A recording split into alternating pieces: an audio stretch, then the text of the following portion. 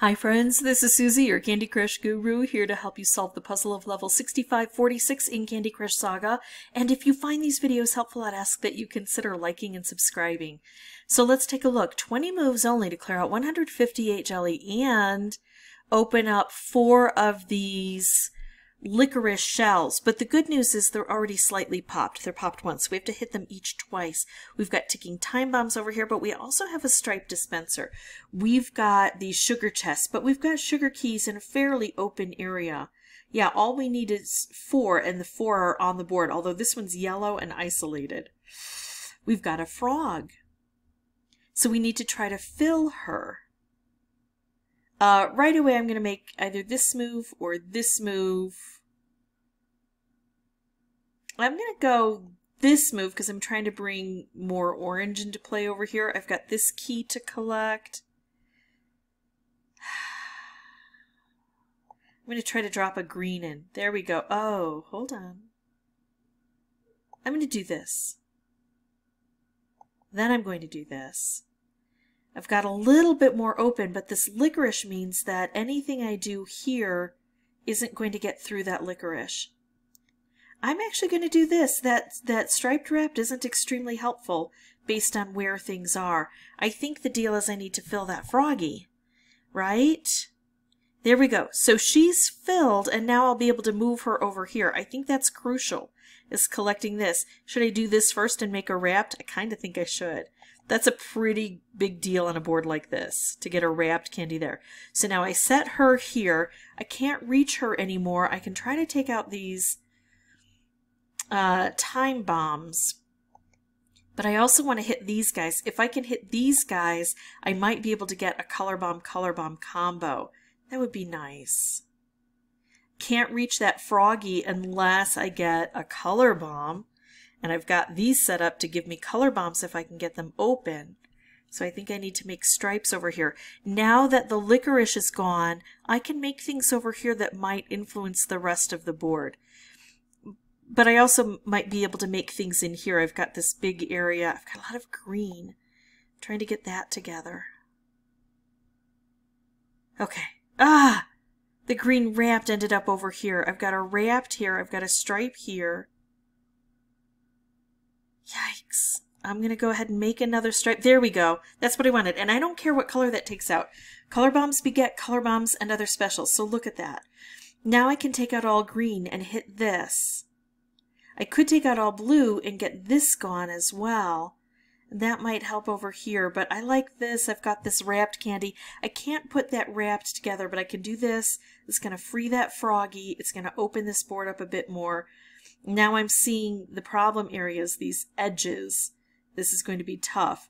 So I could take this and move it, but maybe I should wait until...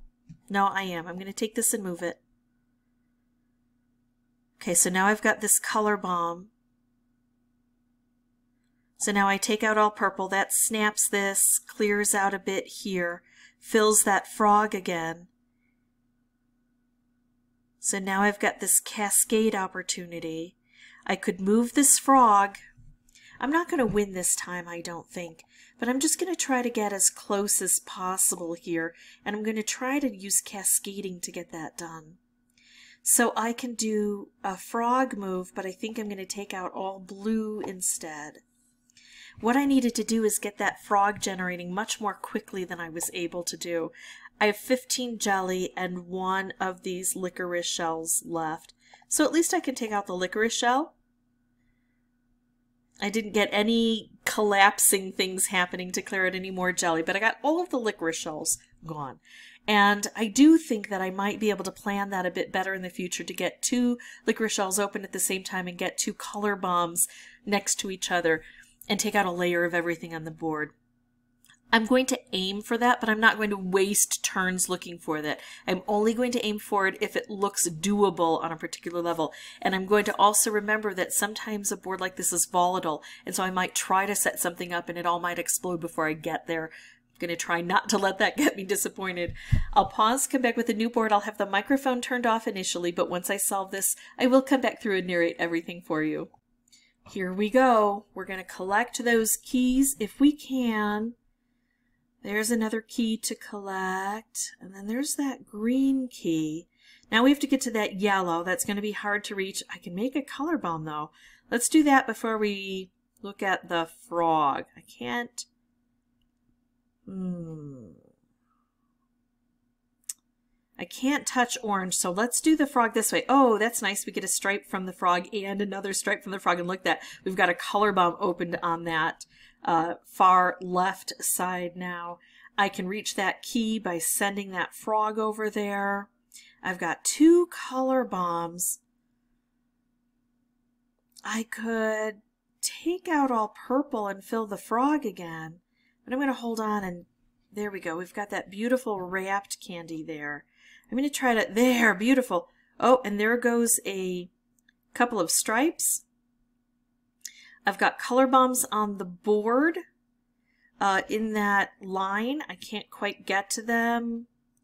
I'm thinking about taking out purple now to fill that frog. Maybe the frog can help me open some things up.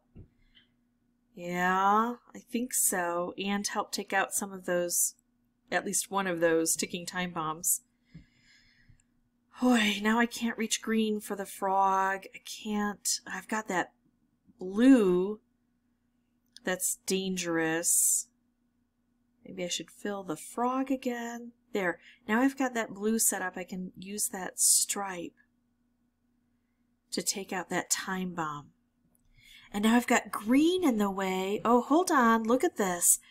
I can take out green and put these two guys together and fill the frog at the same time. Oh, remember how I talked about everything could be volatile? Look at that. It all goes. It all goes. But it's taking out color. It's clearing clearing this area out. There goes another color bomb. Wow. Okay. So I've got the frog, but I also have the opportunity here to make a stripe. I'm going to do this instead. And they don't line up. Should I send out...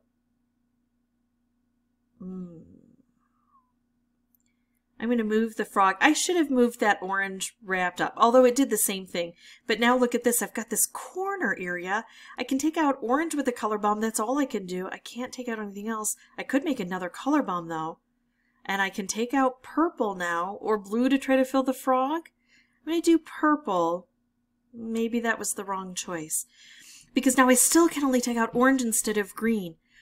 What I need to do is set this off and hope, there we go, green is the most prevalent color on the board, so that got collected.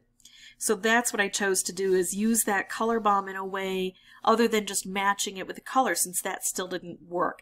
The good news is, even though I got a little bit of luck at the end, uh, the good news is that was only my second try. I, I, don't think I played it cleanly. I don't think I made the best choices going through.